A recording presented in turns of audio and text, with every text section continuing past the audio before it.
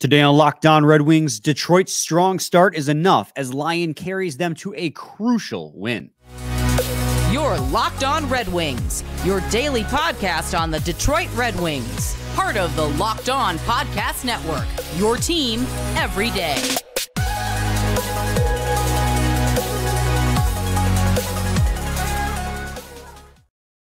Welcome back to the Locked On Red Wings podcast. We are your hosts, Brian Fisher and Scotty Bentley. I'm a podcast producer for the Daily J, a WWJ News Radio podcast. Well, Scotty's host over at Locked On Tigers, as well as a freelance journalist for the Detroit News.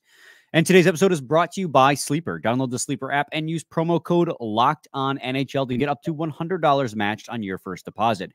Terms and conditions apply. See Sleeper's terms of use for details. And Scotty, we are very happy campers today, at least on the Red Wings side of uh, the Fisher Freeway, because they won a game and a crucial one at that to at least temporarily put them back into the second wild card. Now, by the time you're listening to this, this may be moot because the Capitals are playing the Senators today as well in the evening.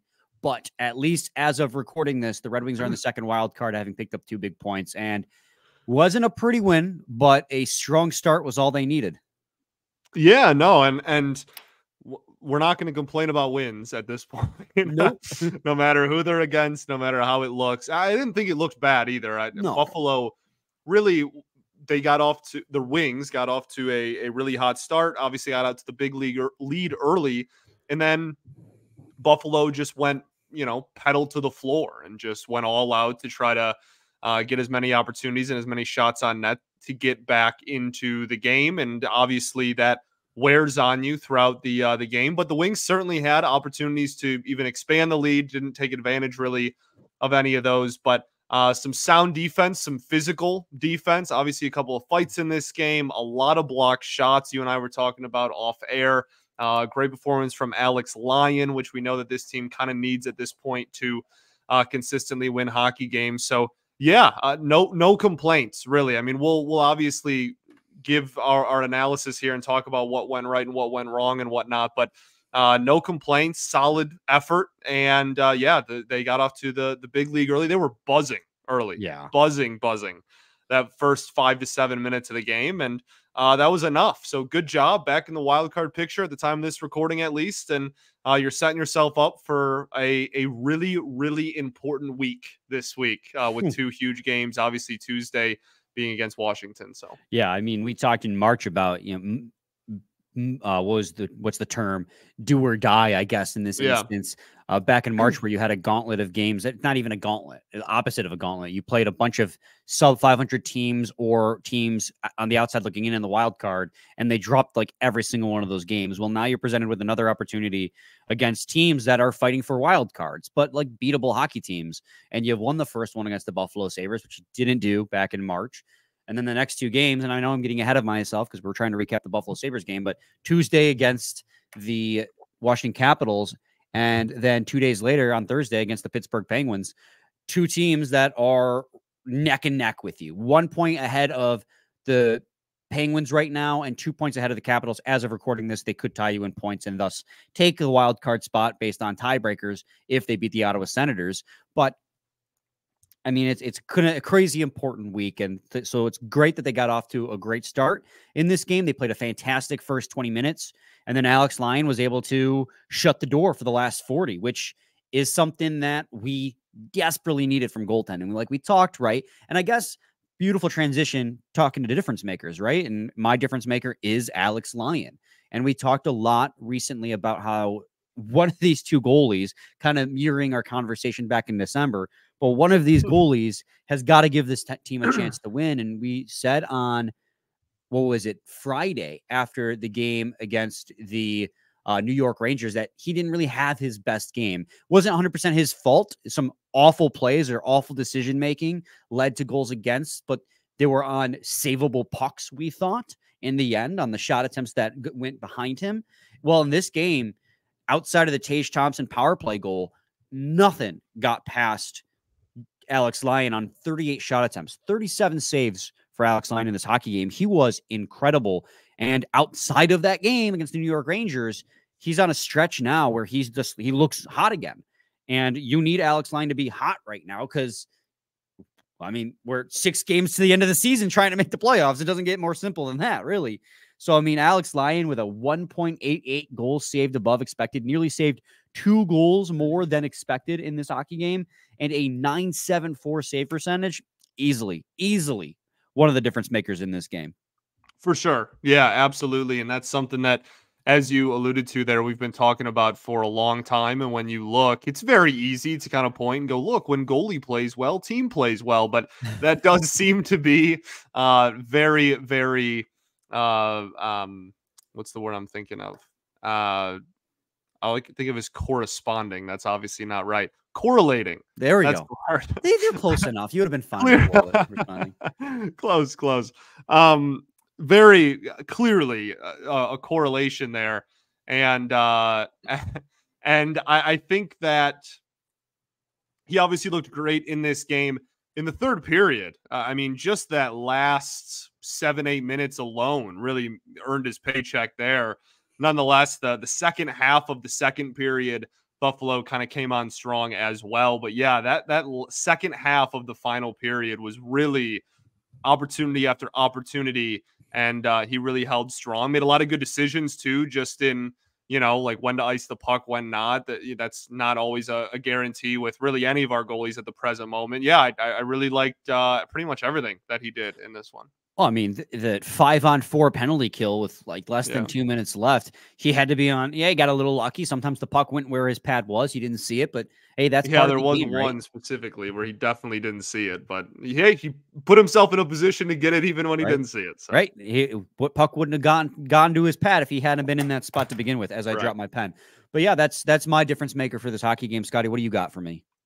Yeah, mine's Lucas Raymond, and I think that uh, when we talk about the Wings over the last month and a half, I I think the first thing you're going to talk about is all of the losing, and then the second thing you're going to talk about is but Lucas Raymond has stepped up and uh, really really looked like a darn good hockey player for that entire stretch. And I think that this game specifically, he was everywhere. Obviously, the goal So good. uh, at the beginning of the game, but he was the first goal. Yeah. So, um, yeah, he- looked fantastic, though. That whole line I thought looked really good. Uh, obviously, Larkin had a goal as well. But uh, yeah, I thought that Razor was really, really sharp throughout this entire game. Yeah, Raymond's goal came 53 seconds in. He made a great read to jump up and intercept the pass, then made Yeah, two beautiful fantastic. moves to get past uh, forwards who were trying to intercept him in the neutral zone, and then just beautiful shot from the top of the circle. And Lucas Raymond's been a breakout player this year. You know, we talked about at the start of the season, and we've mentioned this a few times on the pod as well. Like our expectations after his sophomore slump year were a little bit dampened. You know, we were talking about just get back close to the 57 point marker maybe get cross 60 points like you did in uh, or uh, the 57 point mark which he had met his rookie season and then if you could get into a 60 70 point range as a player that's a great year. Well he has gotten into the 60 point range uh, and there's still six games left to build on that. What the, one area i did not expect is his goal scoring to take such a a, a spike 26 goals and with six goal games left he has an opportunity to reach 30 goals like I knew that he could hit 30 goals, but I didn't I don't I didn't think going into the season that he could become be a perennial 30 goal scorer is what I'm trying to say. But now after this season, I'm starting to reevaluate that maybe he can be a consistent 30 goal scorer. And then he had a beautiful assist on Dylan Larkin's feed at uh, Dylan Larkin's goal as well. Larkin's 31st goal of the year that happened on the power play. It was a great cycle. Perron to Raymond down low to Larkin in the bumper. That's exactly how they want to. That's exactly how they write that up. They do two things: cross seam pass or high or low high, and it worked Right. to a T in this game. I mean, even outside of that, right? Like, how many two on ones was he a part of? How many rushes up the ice was he a part of? How many pockets did he pick in this game? How many board battles did he win or did he get involved in and still manage to come away with the puck? Like, he in this game in particular showed you every single reason why he's going to be worth the eight eight million dollar contract he's going to earn. I don't think it's going to. I don't know if it's going to be that much, but mm-hmm. whatever dollar sign you're going to put on it, contract he's going to earn, and it's going to be a long contract. It might not be eight years, but I wouldn't be surprised if it's like six years for Lucas Raymond coming in this offseason because he's proven this year in his third season. It's like, okay, last year was a down year. I was adjusting. Well, now I'm adjusted, and this is who I am. And I'm only 22. Kid was amazing. Yeah, it's going to be one of the the more frequent and bigger conversations we have this summer for sure. Absolutely. Uh, we're going to take a quick break. And when we return, we're going to move on to our notable performers, our notable performances, whatever it may be. So stay tuned for that in segment two of Locked On Red Wings. It's almost the end of the NHL season, and the Detroit Red Wings are still fighting to the very end for a playoff spot, exactly where we hoped they'd be at the start of the season. And regardless of where they are in the current standings, I want to remind you that you could win big by playing daily fantasy hockey on Sleeper, the official daily fantasy app of the Locked On NHL Network. Sleeper is the number one choice for daily fantasy sports and especially daily fantasy hockey, because with Sleeper, you can win 100 times your cash in daily fantasy hockey contests. All you have to do is pick whether or not studs like Lucas Raymond, Dylan Larkin, Patrick Kane, Joe Veleno with the fisticuffs will record more or less than their sleeper projections for things like goals, assists, saves, plus minus, and more in a given hockey game. To win 100 times bet on sleeper, you need to correctly predict the outcome of eight player stats. You heard me, Red Wings fans. You can win 100 times your money playing daily fantasy hockey with sleeper. So start paying attention and nail your picks so you can start winning big. Use promo code LOCKED ON NHL and you'll get up to $100 matched on your first deposit. Terms and conditions apply. That's code LOCKED on NHL. See Sleeper's terms of use for details and locational availability. Segment two, Locked On Red Wings podcast. We are recapping the three to one Detroit Red Wings win over the Buffalo Sabres. Scotty, in terms of notable performers, I feel like the guys who stood out in this game really did a good job of making them stand out, making themselves stand out. And I, I think the guy we got to start with here is Moritz Seider, right? Like the easy, I, notable performer. So I genuinely think that there was a real argument that Seider could have been a difference maker rather than one of the players we chose. Obviously, mm-hmm. I, I think it's it's one of those three or two of those three, I guess, if if we're each picking one. Um, but yeah, Seider had a fantastic game. Uh, you mentioned before we went on air all the blocked shots that he had uh, in this game. What do you have? 10, I want to say. Uh, yeah, you're sneezing right now. Okay, cool. Thumbs up. Yeah, 10. So um, it was everywhere though, man. Like he he was he was everywhere. We finally got the time on ice uh type of uh uh strategy is not the right word. My brain is mush. I apologize. But uh we finally got that game plan. That's the word that we've been uh, talking about for so long. Yeah, man, he was he was fantastic. And there, you, I mean, we could go play by play, like shift by shift. Really, I mean, if you know, if we had three hours, like he he was he was everywhere, and it felt like every shift he was making an impact play. The, the impact play being put your body in front of the puck. Yeah, dive I, in front of a puck. Yeah. He with 10 blocked shots, he ties the season high in blocked shots in a single game. I believe one of those players he's tied with is Chris Tanev. There's another one he's tied with. I don't have it right up in front of me as we talk, but he also takes the league lead in blocked shots with 205 in the season. I remember yeah, like a wild. month or two ago, I made a graphic because Jake Walman was like third in block shots. And obviously, Walman had missed time because he got sick and hurt. And now Chiarot stepped into that top pair role. So now Walman's kind of like teetering where he's at in the lineup. But in that in that graphic, just on the outside looking in was Seider at 11. So in that month or two since I've posted that graphic, Moritz Seider has blocked so many shots to become the league leader in that category. Yeah. And block shots isn't always like a great thing because, namely, if you're blocking a lot of shots in any given game, it means you're not possessing the puck a lot.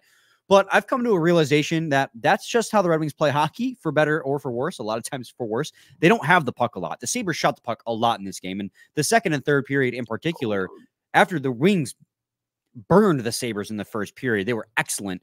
The Sabres really, really pushed in the second and third period. And it took all of Moritz Seider's 27 minutes and 10 blocked shots and Alex Lyon's phenomenalness behind him. That's not really a word, but we're rolling with it to keep this a three to one win. And as much as we talk about the 37 saves that Lyon made, the 10 saves that Moritz Seider made were just as impactful. So I completely agree with you when you say that that is that could be a difference maker. I mean, we talked just this last game uh, against the New York Rangers about how does Moritz Seider have just 20 minutes of ice time? How does Gostisbehere lead the team in ice time? I, I was complaining up and down the microphone here about how the Moritz Seider needs to be getting 25, 27 minutes a night against the Lightning. He got 27 minutes or 25 minutes. They won.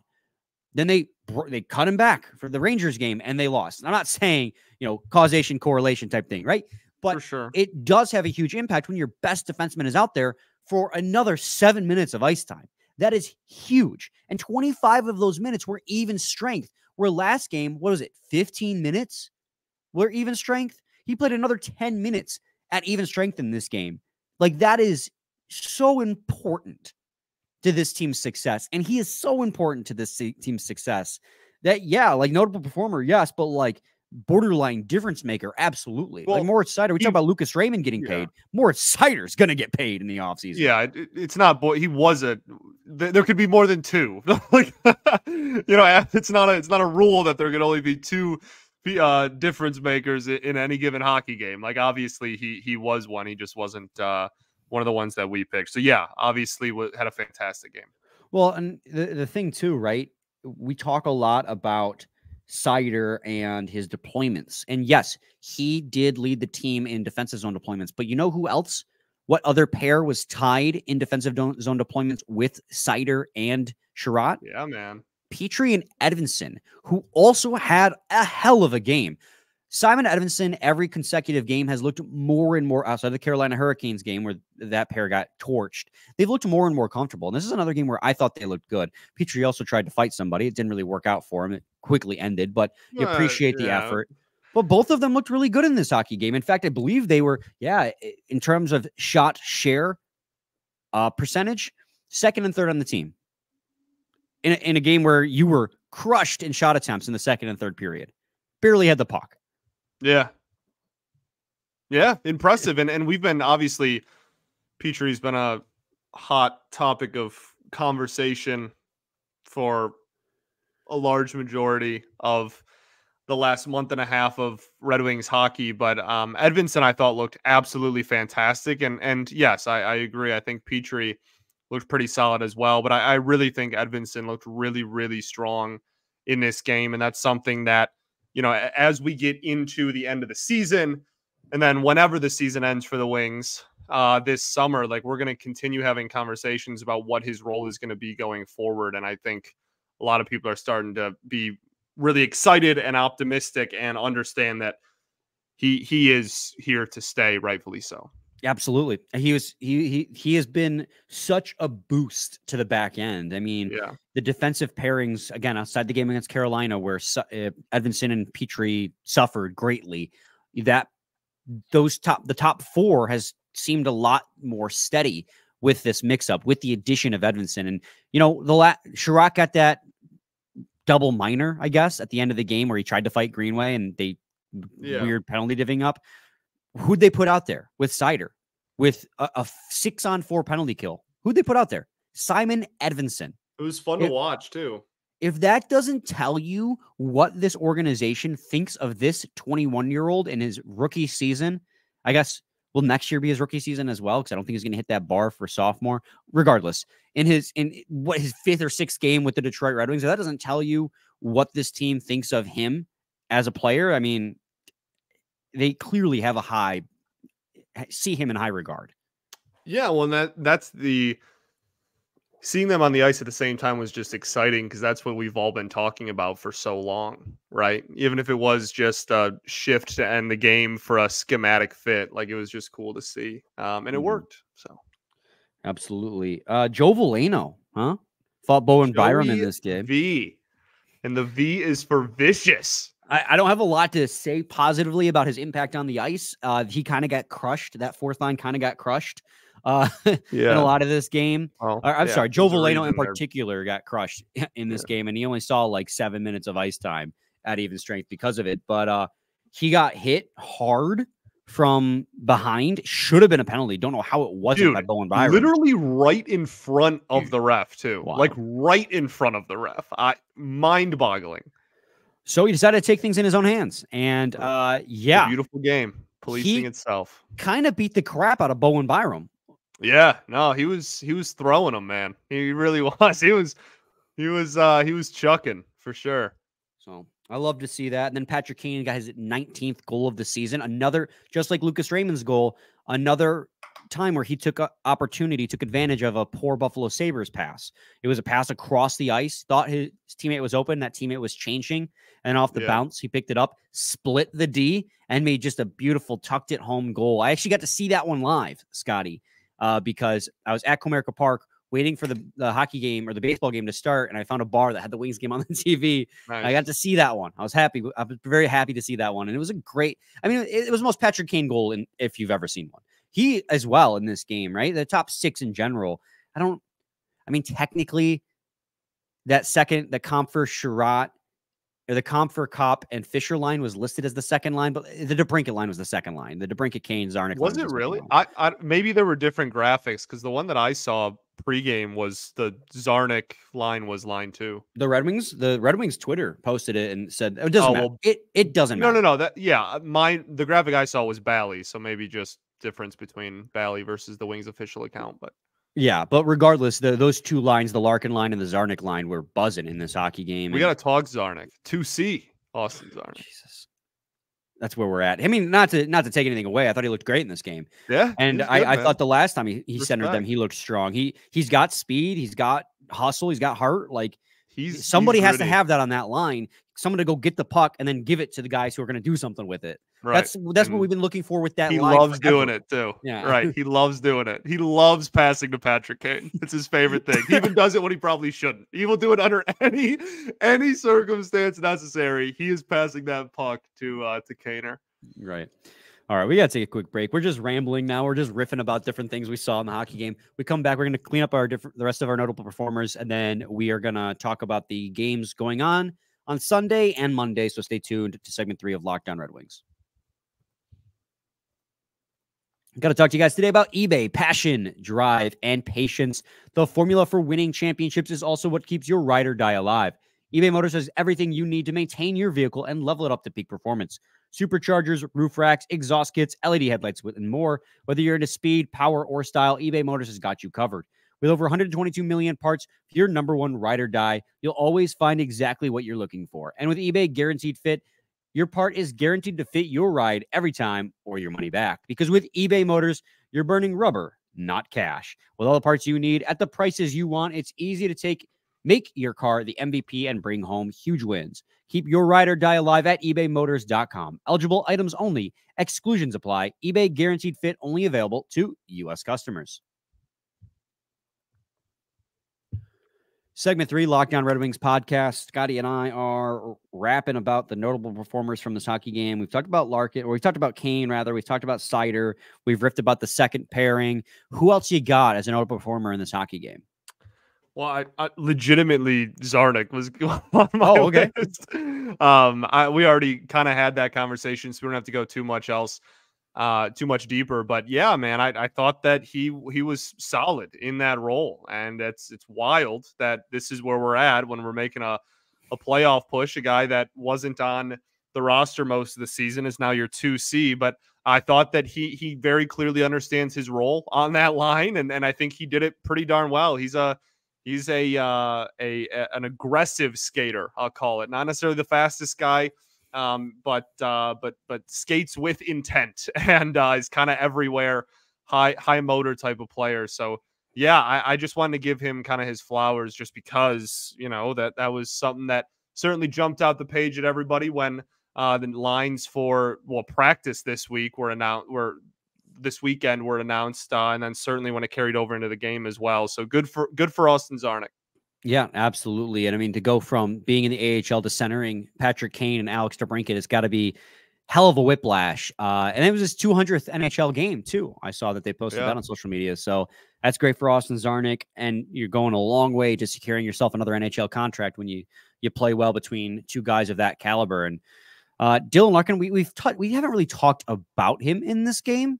We've talked uh, around him, surrounding him. We talked about what led to his goal. Obviously, he got the 31st goal of the season on the power play. But really, what stood out with Dylan Larkin in this game, other than the fact that he's the captain and he was absolutely buzzing, uh, face-off circle, he was 15 and 4 15 wins and 4 losses for a 78.9% win percentage in the face-off circle Yeah. the dude could not lose a face-off in this hockey game it was incredible at one point i remember they read a stat where it's like larkin has 13 face-off wins the rest of the centers combined have 15 like Yeah. My favorite stat.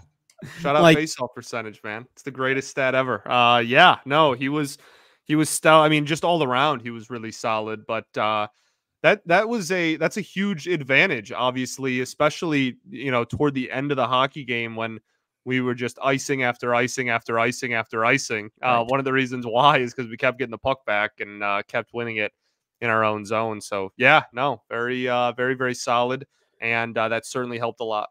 yeah so in terms of notable performances you got anything else i think we have about touched on everything I, Um, who else? We did. I Kane. I will say, uh, Gostisbehere and Maatta probably had their best game together in a while. Uh, Maatta's Yeah, first game Maatta. back in the lineup after back-to-back healthy scratches. Although we did hear reports that he was battling an injury, so that probably led to healthy scratch. Uh, Maatta in particular, I thought did a really nice job of preventing zone entries, and he even stepped up in the play a couple times. So I want to shout out Yeah. Olli Maatta. This is probably the best the defensive core has looked in a long, long time in this game in particular, which is crazy. Well, let me let me walk that back a little bit because in the second period there was a lot of turnovers in the defensive zone, which is which helped lead to the pressure that the Buffalo Sabres had. Because again, in the second and third period, it was all Buffalo Sabres, and they at times were hanging on for dear life. A lot of timely block shots by the Detroit Red Wings and uh, Alex Lyon being great, but in those moments, I thought that pair looked good, and I thought overall the defensive there was a lot of pressure put on the defense in this game by the amount the Buffalo Sabres were pushing, and they proved up to snuff. Again, goaltending helps prove that or hammer home that point a lot when the goaltending bails you out as well. Uh, but yeah, it was it was a solid game out of pretty much all three pairs. I felt. Then again, you know, barely saw Maatta and Gostisbehere by comparison. It felt like, but that for was sure. that No, but yeah, design. no, I, I I don't disagree. And I mean, offensively, really, the fourth line was really the only one that uh, saw its play kind of taper off due to performance. So Absolutely. Uh, around the league, Scotty, we are recording this at 746. It's currently the time on uh, Sunday evening. So the scores currently Capitals are leading the Senators two to one in the second period. That's really, uh, I think the Devils are still playing too, and they're still wild that in it everyone in this fan base is rooting for the Senators for for this game. For this game. Uh, it's two to one, so that game's still very much in play. But obviously, by the time people are listening, they'll know the result. If the Capitals win, they'll be tied in points with the Red Wings, and they'll have the second wild card on the tiebreaker of regulation wins. So uh, that's why you need the Senators to win this hockey game. And uh, the Devils are playing the Predators as well, although they are six points back. So not a lot of concern with the Devils at this point. And the win with, against the Buffalo Sabres kind of knocks them out of real contention, too, with just a few games remaining.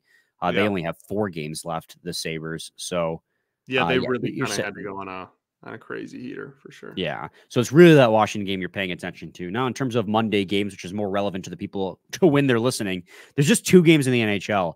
Uh, but one of them matters. Uh, The Penguins are going to Toronto to play the Maple Leafs. And currently, the Penguins are one point back of the Detroit Red Wings as of recording this. So a win to, on Monday by the Penguins over the Maple Leafs would then elevate them to the second wild card. So just as quickly as the Red Wings got back in the wild card, they could find themselves the two two places down in the standings if both Washington and Pittsburgh win. So that's why taking advantage when other teams lose is important, and that why that Rangers loss stings as well as the all the other losses they've got.